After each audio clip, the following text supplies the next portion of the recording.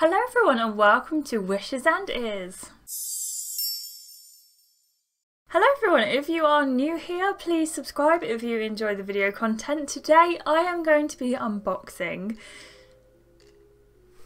I'm really excited. I have ordered a new Loungefly bag. So you may have seen my one from a couple of weeks ago with the Ewok bag. The obsession didn't stop there and I may have decided it was time to order another Loungefly. Now this is amazing. This is a small world bag. You may have seen this advertised before. You may have seen this on Loungefly or another website. I absolutely adore this bag and I'm hoping that it lives up to its standards in person. I ordered this bag from someone from Facebook, so it's brand new, and the lady who is selling it was just selling it on. It has arrived today in this beautiful Minnie Mouse style packaging. The lady who I shipped it from as well, she's really lovely, really friendly. She's not a business owner or anything like that, she's just selling off what she purchased when she was in Disney World in Florida. So I'm not going to leave a link or anything for her down below, but if she ever does watch this, you were so lovely. Um, I wish you could be my mum while I get to keep my actual mum because I love my mum very much. She purchased three bags for her daughters and gave them to them when she was back and her daughters told her the bags weren't cool because they all had the same bag which is the one that I am about to open. Sadly the wrapping did get a little bit torn but that's to be expected. She also sent it second class signed for but it came really quickly and I'm going to have to be careful not to show you this side because it's got my address on and it's so big I can't actually get rid of it. Feel like it's my birthday all of a sudden. Ah, oh, she's got lovely wrapping in there as well, and something, a free small gift. It smells very minty. Do you know what? I'm going to make a guess. I'm going to say these are mint matchmakers, which I would love. They're mint matchmakers. Oh my gosh, bless that. And they're suitable for vegetarians as well, which means Simon and I can enjoy these. Thank you so much. You are lovely. And that's just that's just really nice especially because she was so lovely and talkative as well. I can see it I'm so happy.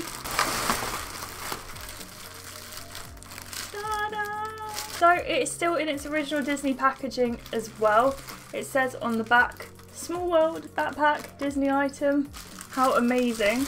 Oh it's so lovely and cute and I love it so I think I said in one of my recent videos as well, anything with a gold accent I just absolutely fall for.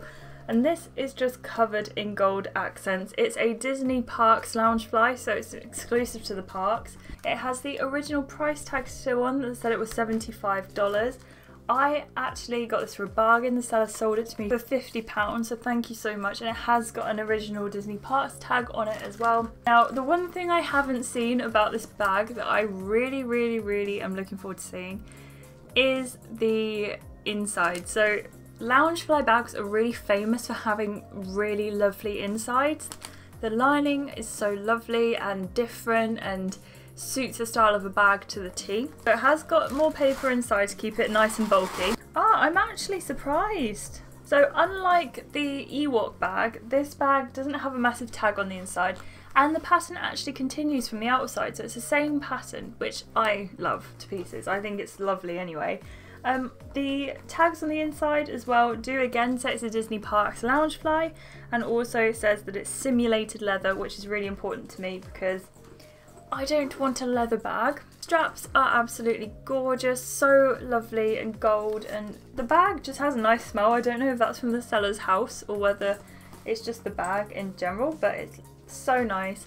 The detailing on the bag is absolutely ridiculous and I think any fans of It's a Small World will really, really enjoy this. Again, it's got the typical Loungefly sides, so you can put stuff in there I don't think it would be suitable for a bottle or anything like that unless maybe you put the bottle in and then lost some room from the inside. The zips are as lovely as Loungefly zips are. And like the Loungefly bag as well, it doesn't have removable straps.